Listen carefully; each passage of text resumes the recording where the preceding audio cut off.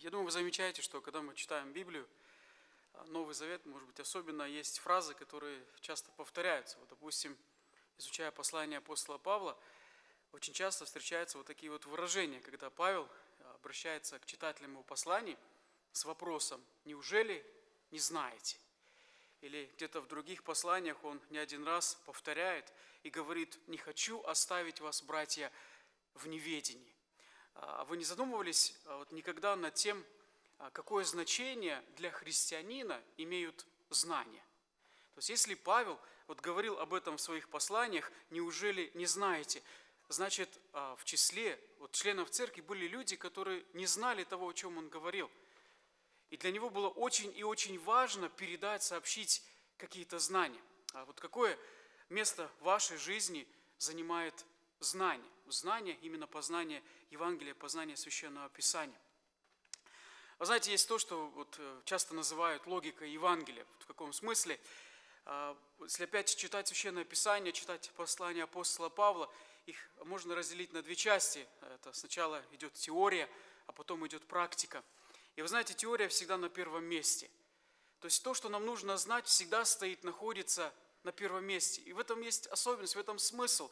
То есть знания для нас с вами представляют первостепенную важность. А я думаю, очень часто мы а, у Бога ищем другого. А Бога мы спрашиваем, мы говорим Богу, скажи мне, что нужно делать. А Бог в первую очередь хочет, чтобы мы что-то знали. То есть Евангелие что-то сообщает нам с вами о нас с вами. Мы это должны знать. А вы знаете почему?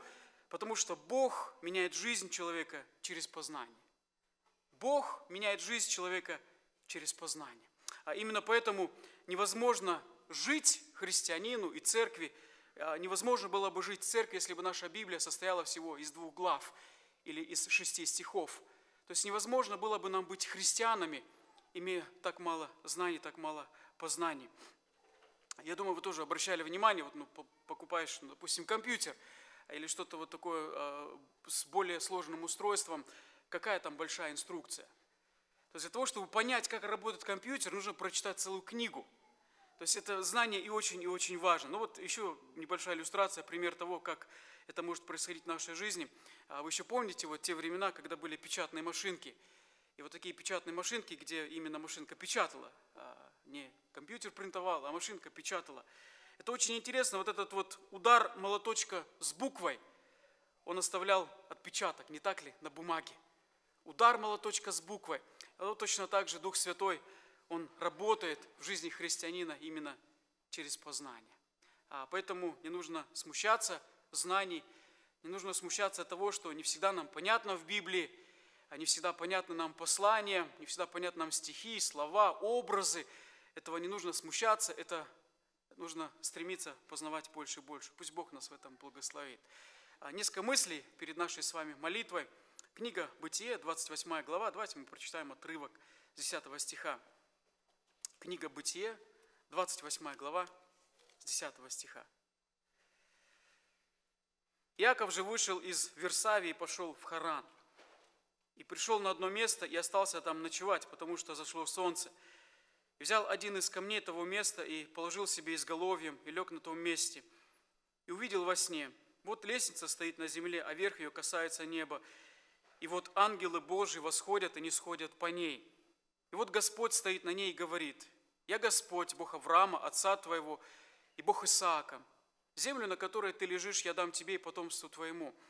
И будет потомство твое, как песок земной, и распространишься к морю и к востоку, и к северу, и к полудню. Благословятся в тебе и в семени твоем все племена земные. И вот я с тобою, и сохраню тебя везде, куда ты не пойдешь, и возвращу тебя в эту землю, ибо я не оставлю тебя, доколе не исполню того, что я сказал тебе». Яков пробудился от сна своего и сказал, «Истина, Господь присутствует на месте этом, а я не знал». И убоялся и сказал, «Как страшно это место! Это не иное, что как дом Божий, это врата небесные. И встал Иаков рано утром, взял камень, который он положил себе изголовьем, и поставил его памятником, и возлил елея наверх его, и нарек имя месту тому Вифиль, дом Божий, а прежнее имя того города было Луз. Положил Яков обед, сказав, если Бог будет со мной и сохранит меня в пути всем, в который я иду, и даст мне хлеб есть и одежду одеться, я в мире возвращусь в дом отца моего, и будет Господь моим Богом, то этот камень, который я поставил памятником, будет домом Божьим. Из всего, что ты, Боже, даруешь мне, я дам тебе десятую часть. Ну, я думаю, эта история для многих из нас, она знакома с детства, да, с воскресной школы. Наверное, э, ну, нет такого класса воскресной школы, где не изучали, не говорили бы о лестнице Иакова. Очень много картинок об этой лестнице, очень известная библейская история. Яков, он должен скрываться от гнева своего брата, э, убегает из дома родителей, находится в пути, потому что так вот посчитали родители, что нужным, что ему лучше покинуть дом, избегая опять гнева брата своего, родного брата-близнеца, и отправили его к родственникам, а, к брату Рвеке, а именно к Лавану. А первый день путешествия Якова подходит к концу, склонился к вечеру, и Яков останавливается переночевать. Когда он уснул, ему является Бог. Я думаю, это очень интересно.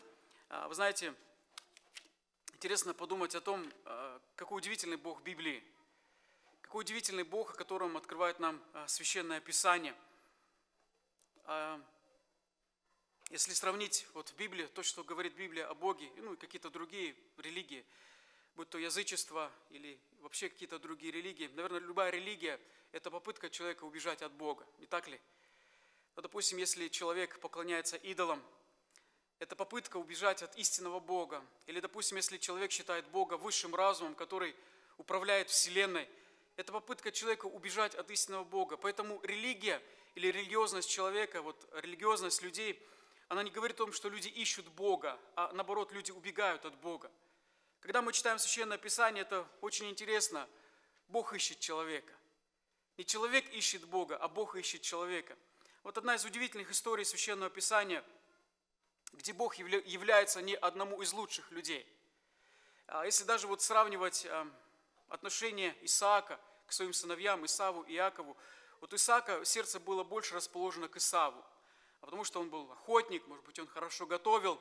Еще, может быть, какие-то были причины, почему вот Исаак любил больше Исава. Но Господь избирает и открывается именно человеку, вот такому человеку, как, как Иаков – еще вот можно так вот подумать о жизни этого молодого человека в доме своих родителей. А, конечно, вот можно предположить, что все-таки он не был легким ребенком. А, и особенно вот последние события его жизни, когда он а, пытался обхитрить своего отца вместе с матерью. Это очень интересно, что Бог является именно такому человеку. Бог является грешному человеку. Точно так, как когда-то Господь Иисус Христос умер за нас, грешных людей – еще очень интересная мысль, вы знаете, мы очень высоко ценим воспитание детей в христианских домах, не так ли?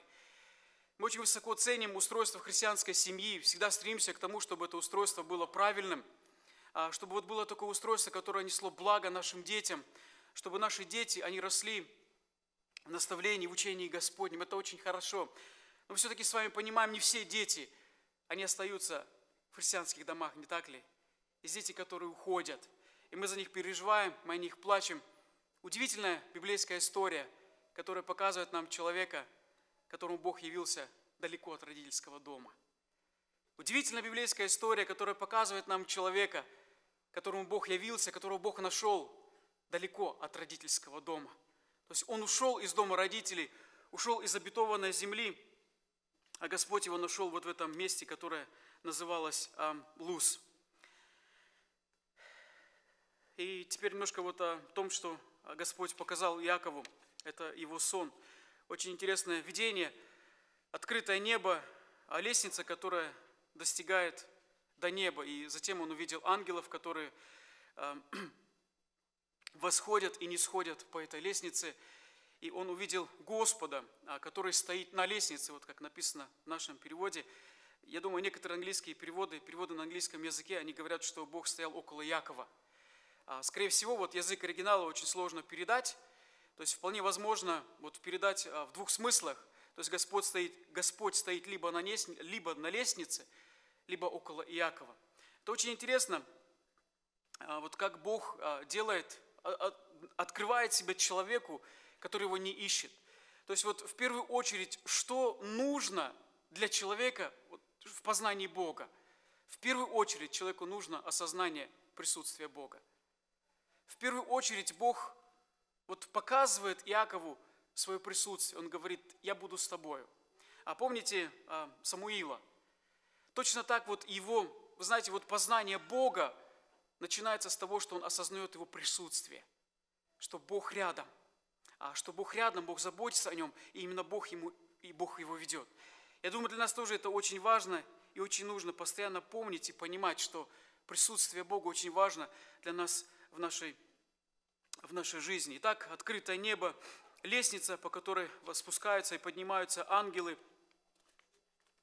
Это все видел Иаков, и как заверение он получает а, вот это вот понимание, что Господь присутствует с ним а, в его жизни. А теперь вот этот вот сон для него становится вдохновением. А теперь вот то, что передал ему Господь в видении, вот для него становится вот основанием, чтобы жить. Интересно, как сегодня складывается наша с вами жизнь. А ведь мы с вами христиане, и теперь мы с вами живем не тем, что вот видим во сне, а мы с вами живем тем, что оставлено для нас с вами в Библии.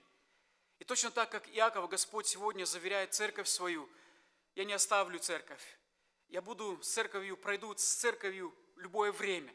То сегодня точно так Господь заверяет нас с вами, что Он присутствует, присутствует в жизни церкви, Он ведет церковь.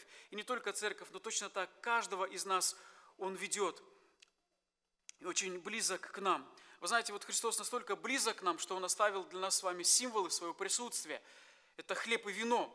Это вечеря Господня, которую мы с вами а, вспоминаем каждый месяц.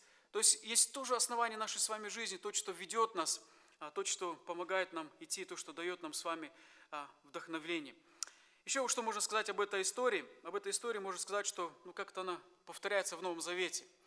Я думаю, вы помните, это Господь Иисус Христос, когда Он, это самое начало Его служения, когда Он призывал еще своих учеников – Филипп а, позвал Нафанаила, а, который подошел к Господу, и Господь обратил внимание этого человека и сказал, что вот израильтянин, в котором нет лукавства. Тоже очень интересная характеристика. Израильтянин, в котором нет лукавства. То есть это был человек, который по-настоящему отвечал имени израильтянин. А, израильтянин – человек, который знает Бога. И именно ему Господь сказал, что ты увидишь больше. Ты увидишь больше. Он сказал, что ты Ты веришь, потому что я тебе сказал, я видел тебя под смоковницей, увидишь больше. И говорит ему, истинно, истинно говорю вам, отныне будете видеть небо отверстым и ангелов Божьих, восходящих и нисходящих к Сыну Человеческому. То есть в действительности то, что видел Яков во сне, это было не о нем, а было о Господе. Это Господу восходили и не сходили ангелы. Еще, знаете, можно сделать вот такой вот интересный шаг в рассуждениях – а что Господь хотел сказать Нафанаилу? Увидишь ангелов, а, восходящих и нисходящих к Сыну, а, к Сыну Человеческому. Мы знаем о том, что служение Господа сопровождали ангелы. Они сопровождали Его при рождении, они сопровождали Его в искушении, они сопровождали Его при воскресении. Еще будет знаменательное событие – это возвращение Господа, когда Его опять будут сопровождать ангелы. То есть мы с вами можем сделать предположение – что Господь, когда говорит с Нафанаилом, он говорит, вот под смоковницей у тебя было вот какое-то особое, ну, не знаю, общение с Богом, очень близкое общение с Богом, о котором Христос знал. Вот то, что мы имеем с вами на земле, это близкое общение с Богом, общение под смоковницей. А Господь говорит, что вы увидите больше. И именно вот если ну, считать об ангелах, говорить об ангелах в служении Господа, Господь как бы намекая на Фанаилу, говорит, тебя ожидает больше, когда Он вернется – когда Господь вернется. То есть, видите, вот эта вот история, древняя библейская история патриарха Якова, она заходит далеко в будущее. Она указывает на служение Иисуса Христа, и она указывает также на Его второе пришествие, когда Господь а, вернется. Когда Господь вернется. А, братья и сестры, мы сейчас с вами будем молиться. Ну вот просто как мысли пусть эти останутся в нашем сердце, в нашем разуме, а, что Господь открывается нам именно в том, что заверяет нас в своем присутствии, а, что Он с нами. Это как основание для нашей с вами жизни. Пусть Бог благословит нас. Аминь. Я приглашаю вас к молитве, если желание помолиться, пожалуйста, помолитесь.